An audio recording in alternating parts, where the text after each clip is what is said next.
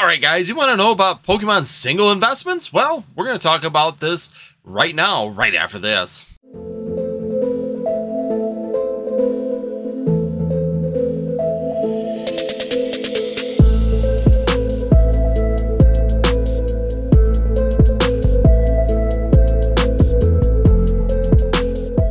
All right, guys, I'm Andy with Northwoods TCG, and today we're going to be taking a look at some Pokemon singles. And today we're going to be starting a new series. I think I'm going to do this every week. I go through some of the top movers for that week in the Pokemon TCG when it comes down to singles and maybe some opportunities that are out there. And you can take a look at them yourself and really break them down to decide if they're great for your Pokemon investment or if you just think it's a dying fad. So today we're going to take a look at that. We're going to talk about five different areas. They may not necessarily just be one single card. They may be a certain area of what we're seeing in a or a grouping of particular cards that are having these things. Um, and we're also going to talk about some singles inside of this, which ones you might have some really good investment opportunities here as time moves on in these particular cards. So today we're going to take it off with the first one, which is going to be this. All right, guys, first thing that we're going to be talking about here is going to be an XY trainer kit. That's right, it's been a long time since we talked about anything in the XY era having some really good movement, but it's a specific kit. It's going to be the Bisharp Wigglytuff trainer kit that they had out there back in XY. For whatever reason, a lot of the cards are doing extremely well in this one. We're seeing anything from a 20% gain on those cards all the way up to an 830% gain. And it's everything from a Pidgeot to a Clefairy to a Pidgeotto. So there's a lot of movement in this particular set all of a sudden here in the Pokemon TCG. Don't know why. I have not broken down each one of these individually. Once again, this series is going to be based on the numbers, not necessarily on why I think that these ones are going to do extremely well.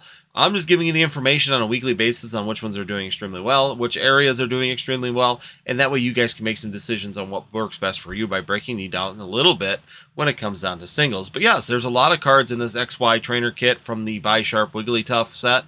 Overall, they're all doing extremely well. There's probably about eight or nine cards right now that are just going up really quickly in value, and they're doing really well. All of them look like the ones everyone I pulled out from that one are doing really well, but there are some really good shooting stars out of there that are doing really good. And could it be, once again, EX? We're talking about the Pidgeot EX being out there.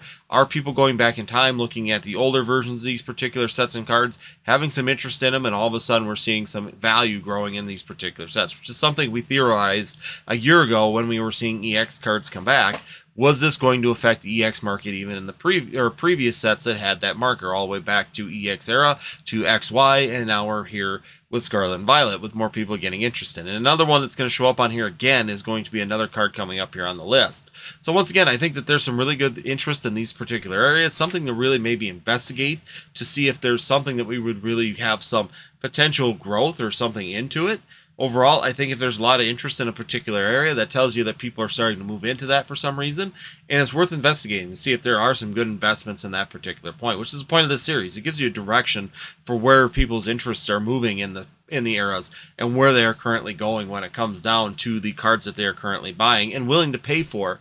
And maybe you have some of these cards. Maybe these are cards you've had on the shelf that have just been dead weight for a long period of time, but you've been sitting on them. This might be the opportunity to get them out there. So once again, check out the um, that Bisharp or uh, Bisharp um, Wigglytuff era. Definitely looking like it's doing really well when it comes down to those XY trainer kits. And there are some really good value currently growing in a lot of those cards. The last week, two weeks, some of them have been doing really well. Moving on to the next one, which is going to be this. All right, guys, here we are at the second one, which is going to be the Crown Zenith Bidoof. But this is going to be the alternate art, or the Galarian Gallery version of this one in that set. Overall, in the last few or last week, we've seen a 27% gain. I think people are starting to bling out their deck. Number one, Crown Zenith is getting harder and harder to find. It's not as easy to find in your stores anymore. ETBs are pretty much gone anywhere locally by me. I can still find a couple of those big bundles like the Zacian and uh, Zamazenta boxes. They are still out there with all those packs, but still the value, even on sale, is still way too high for the pricing on them. I don't want to pay that much for a figurine. So those are still sitting on the shelf and they're still available.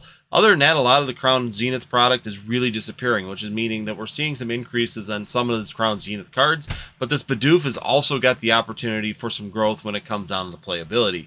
This card is very playable. It's in a lot of decks. There's a great opportunity to use that to grow, or evolve, and then get them five cards into your hand when you're trying to rotate through and build your decks. There's definitely that part of it when it comes down to these particular, for this particular card And I think that that's a factor along with the Crown Zenith disappearing. So we're seeing kind of a double on this one with the 27% gain. It's been gaining pretty steadily though over the last few weeks. This week it just had a really knockout week when it came down to growth, but it has been doing it for a little bit. It's gone from about $2 and it's already up currently close to about 450. So we're seeing about a double in price over the last couple last last 3 months. So overall it's been doing really well. Uh, it's gaining and it's just continuing. It's just accelerating a little faster now. Could be because there's new decks being built. Could be because people are just upgrading their decks right now. They've got some tax return money starting to come in. They've got some extra expendable money, so they're blinging up their decks a little bit and buying these cards that they may have been waiting for. They could be just filling in collections at this point in time. We don't know for sure, but all we know is by the numbers, it's doing rather well. We're going to move into the next one, which is going to be this. All right, guys, here we are. We are at the Altaria EX, and this one is from Emerald. So this one's a little bit older. Once again, I think this might be one of those scenarios like I was talking about in the first one, where they've got that connection to a current EX set. Moving back as people are looking at the Altaria EX from Paradox Rift, that's going to be a really popular chase card. And with that becoming a popular chase card, they're going back in time and looking at this one back in the past. And once again, we're seeing some really good growth on this particular card. We were around $40.80 before that about three weeks ago, four weeks ago. And now there's been a few sales. It went up from there from about 40 to 48. And then we saw another near mint sale around 56.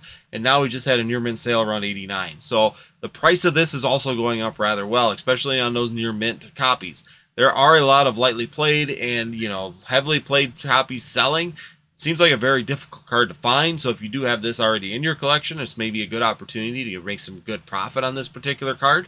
But also, if you are looking for them Emerald or those EX cards or some opportunities to maybe have some growth futuristically, this may be an opportunity to jump on those too. Trying to find those near mint copies right now at like your pawn shops or at your local LCSs might be a good opportunity because they don't readily change pricing on these particular cards and you can maybe snatch, snatch them up before they become priced accordingly to what the market is. So once again, check out your card shops, check out your places like that for these particular cards. There's a great opportunity to jump in on them at maybe around that $40 range when we're seeing some really good value jumping up to 90. Moving on to the next one, which is going to be this. All right, here we are. Next one, which is going to be the Delta Species Flareon EX. Once again, an EX era card getting some love, and I wonder if it's because of the EX.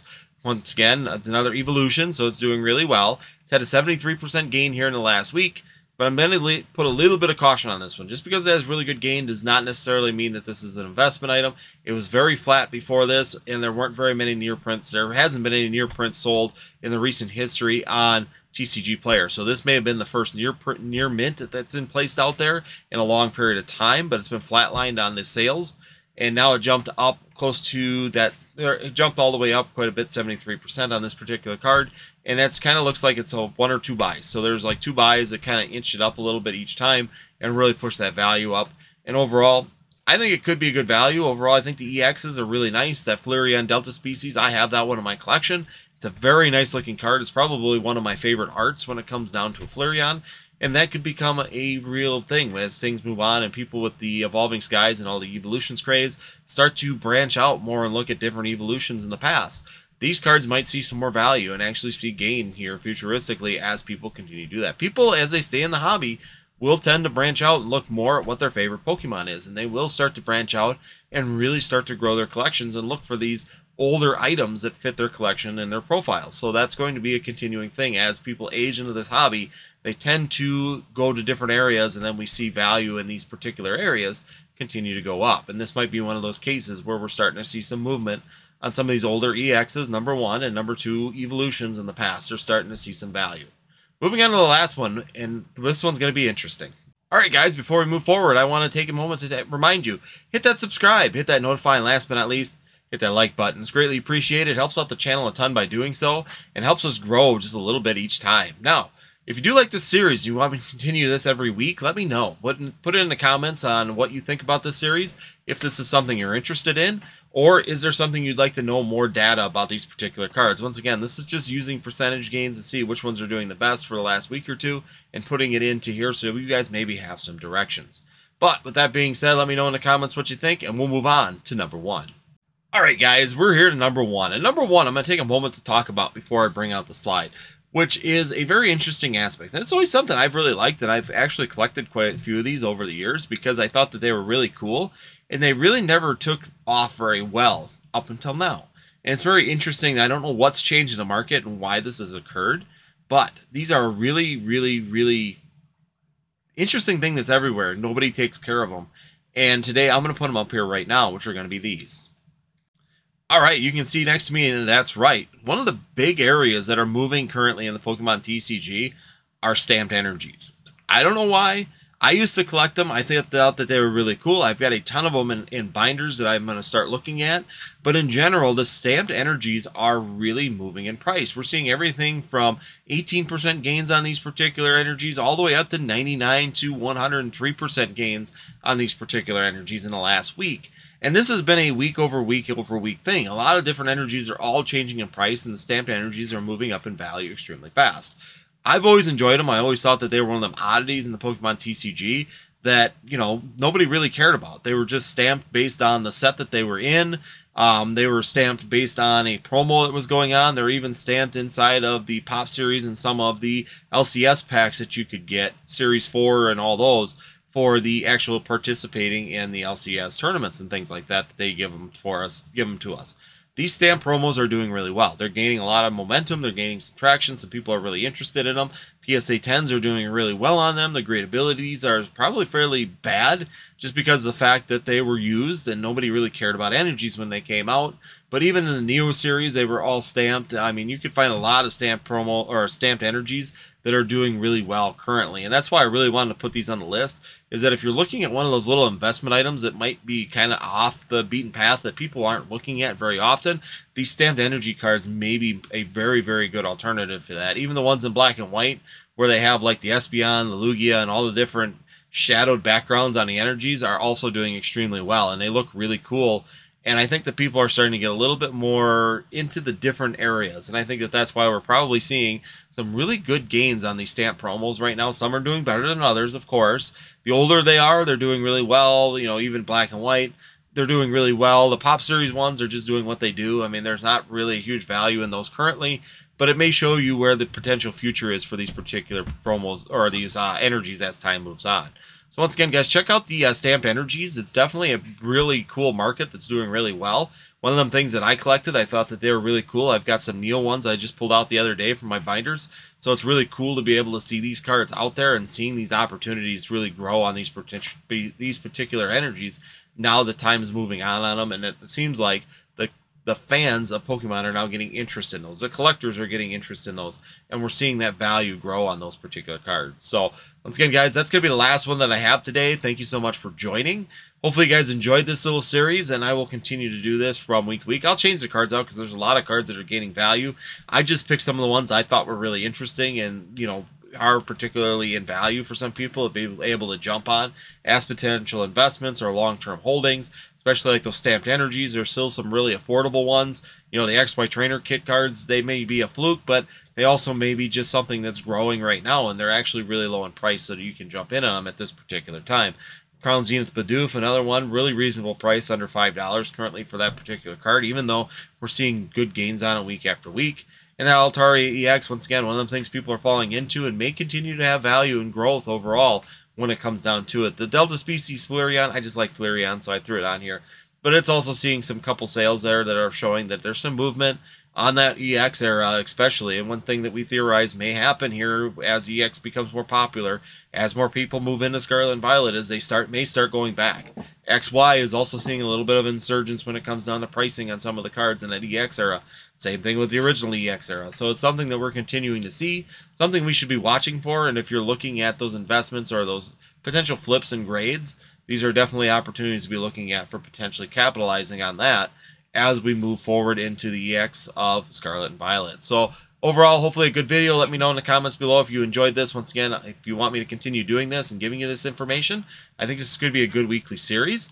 Other than that, we will see you next time here on Northwoods TCG.